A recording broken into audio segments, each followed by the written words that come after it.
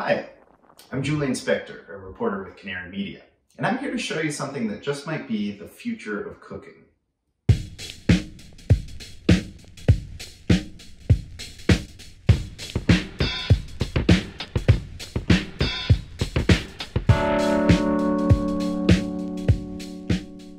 So what I've got right here is an induction stovetop, uh, miniature hot plate edition. This is a technology that takes electricity and uses it to generate magnetic waves that are able to pretty quickly heat up certain types of pots and pans. Since it runs off electricity, it's considered a front runner among the ways to continue cooking great meals in a world that's powered by clean energy instead of by fossil fuels. But most people have never had a chance to use one or maybe even seen one. So what I'm gonna do here is film myself cooking with it, playing around with it in the kitchen, and uh, then you can decide for yourself if it seems like something you wanna check out.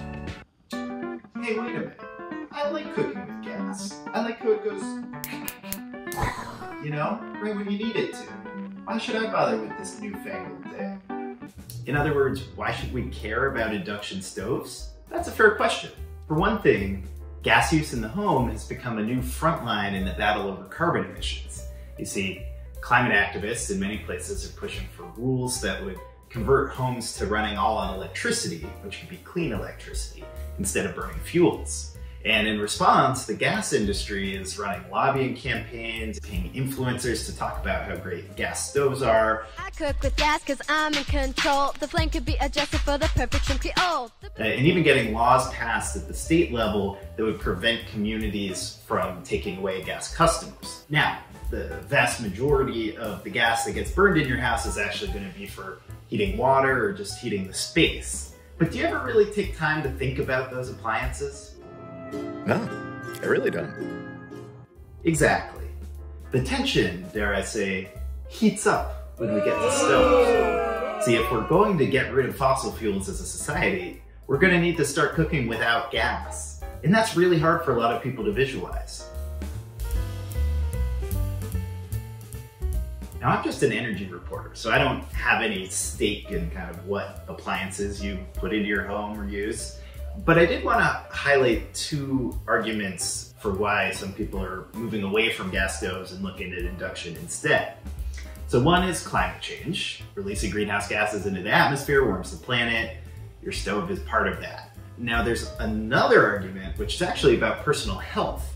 And it turns out there's a very established and still growing body of evidence on the health impacts of igniting gas in your home and breathing in the particles that come from that. It's really not good. It's bad for lung health, heart health, and especially for children in the household. So if either the climate argument or the personal health argument is of interest to you, then you might want to start thinking about induction. And by the way, don't associate these with the kind of old school electric stoves that you're probably more familiar with, those coils. This is a newer technology.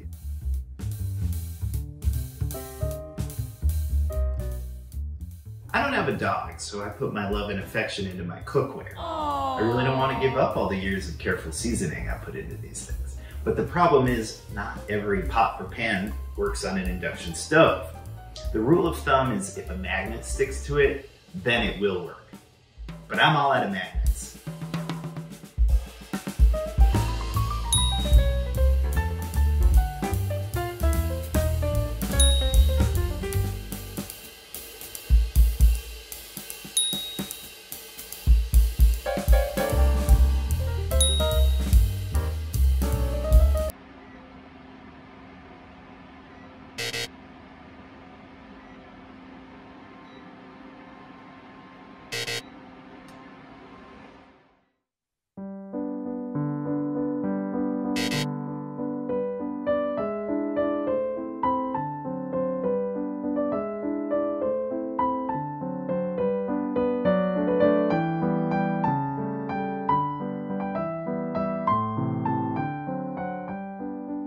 Results are in. So we had the induction stove getting to a rolling boil in 9 minutes and 9 seconds by my count.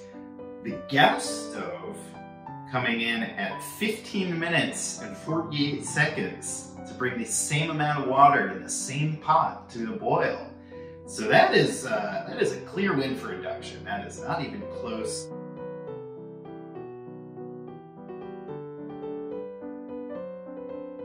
One point that actually surprised me was that it's stronger than I expected.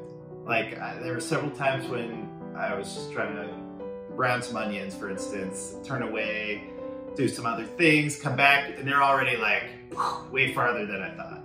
Uh, it took some calibrating because I just sort of expected it to be a weak electric thing.